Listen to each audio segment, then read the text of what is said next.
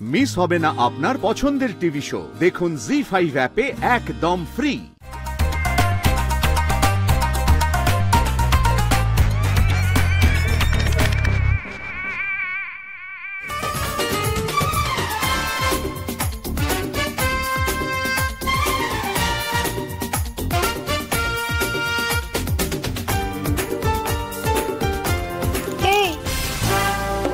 কি দেখছ তোমরা এভাবে হাসছো কেন?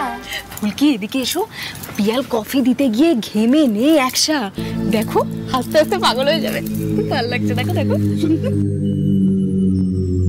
আমিও ঈশিতাকে এতটা ভয় পাই না। পিয়াল তখন থেকে কফিটা নিয়ে দাঁড়িয়ে আছে?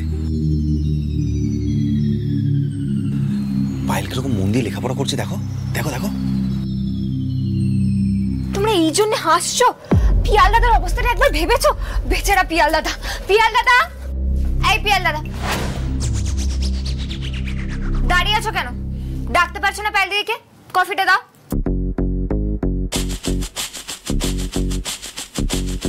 উমা তুই? তুই এখানে কি করছিস? কফি? মানে কফিটা খেতে খেতে পড়াশোনা কর। আসলে এত মন দিয়ে পড়ছিলি তাই ডাকতে পারিনি।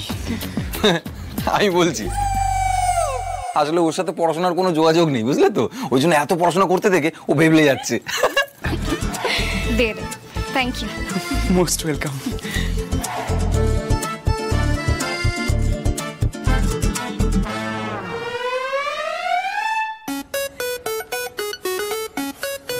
এই পিয়াল ওকে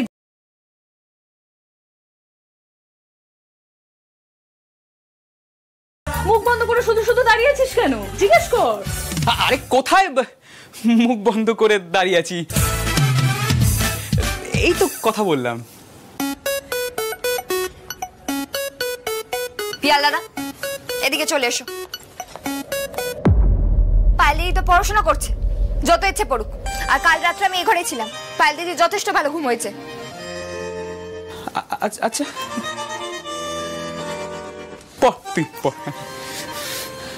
দাঁড়া কোথায় যাচ্ছিস তুই?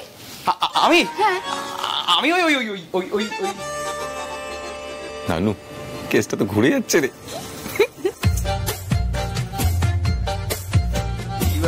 তোর বই খাতা কোথায়? পড়বি না? কিছুদিন পরে তো আমাদের পরীক্ষা। হ্যাঁ? হ্যাঁ। পড়ব? এখন?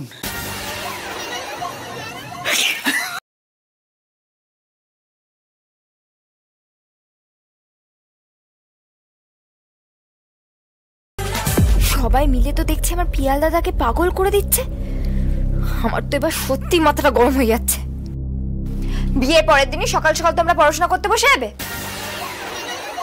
ফুলকি, তুমি তো জানো এই বিয়েটা বিয়ে নয়। আর পড়াশোনা যদি এখন না করে পিয়াল, তাহলে তো পাশ করতে পারবে না। আর আমি তো আছি, আমি একটু হেল্প করে দেব, তাই বলছিলাম।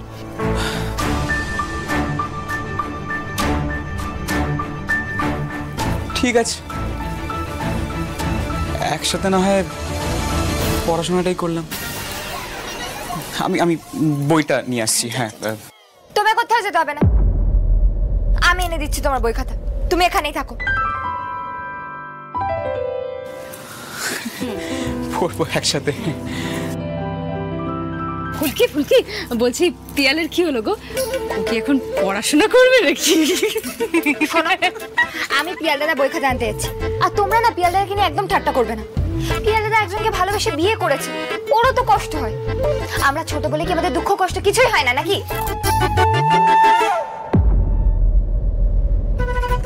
আরে বাস কি কাণ্ড বলতো রোহিত? ফুলকি তো একবারে তেতে আছে। আসলে দাভাই কাল ফুলকিকে বড্ড বকেছে না? সেটাই ফুলকির খুব গায়ে লেগেছে। দাভাই, তুই একটা কাজ কর। তুই বরং ফুলকির সাথে একটু মিষ্টি করে কথা বল। অত শেখাতে হবে না আমাকে, নানু। আমি জানি আমায় কি করতে হবে। ফুলকি দাসকে একটু সামলে সামলে রাখিস। মাথা তো সহজে ঠান্ডা হবে বলে মনে হচ্ছে না। এই! কি, কোনো কথাই কানে যাচ্ছে না নাকি? এনিওয়ে আমি বেরোচ্ছি। এই যে তমাল। তুই অন্তত স্টোরে আসিস একবার। আমাদের বাড়ির দুই ছেলে মানুষ সদস্য তো খুবই ব্যস্ত। হুম?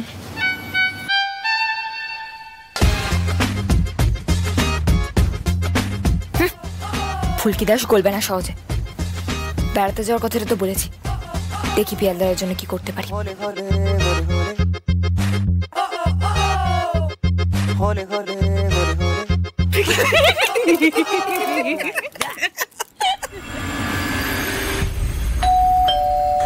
আরে। বাপরে ঈশিতা ম্যাডাম হ্যাঁ একবারে বাড়িতে? কি ব্যাপার? আসুন আসুন আসুন। ব্যাপার তো আছে। মানে একটা খবর দিতে এসেছিল। এই শোনো ঈশিতা আমি না ওই ফুলকির ব্যাপারটা নিয়ে প্রচণ্ড অকুপাই হয়ে আছি। হ্যাঁ মাথার মধ্যে সবসময় ওটাই ঘুরছে। মেয়েটা এতটা বেকায়দায় ফেলেছে ওকে শেষ না করা পর্যন্ত আমি অন্য কোনো খবরে উৎসাহ দেখাতে পারছি না। সো হ্যাঁ ঠিকই বলেছ বুঝতে পারছি। তুমি বলতে পারো যে সেই বিষয়ে খবর দেবার আছে। হেয়ালি করছি না মানে বা তমাল আমাকে ফোন করেছিল। তমাল আমাকে ফোন করে বলল যে আমি কোনো রিসর্ট চিনি কিনা আশেপাশে। আমি যখন জিজ্ঞেস করলাম কার জন্য জিজ্ঞেস করছ? তখন বলল রোহিত দা খোঁজ করছে রিসর্টের। আমার যতদূর মনে হয় রোহিত দা আর ফুলকি দাস কোথাও ঘুরতে যাওয়ার প্ল্যান করছে।